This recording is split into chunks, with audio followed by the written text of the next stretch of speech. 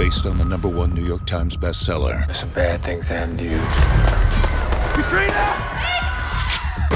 Now you want to kill those mean old terrorists. For starters, yeah. You think that qualifies you for my selection process? My guess is if you and I go hand to hand, you can probably figure out that I have what it takes. On September 15th, We got a problem. Hey, look at this. It's him, Irene. It's Ghost.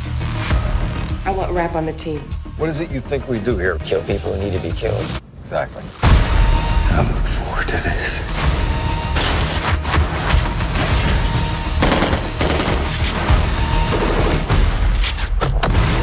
Dylan O'Brien, Michael Keaton, Thousands are gonna burn. I don't think so.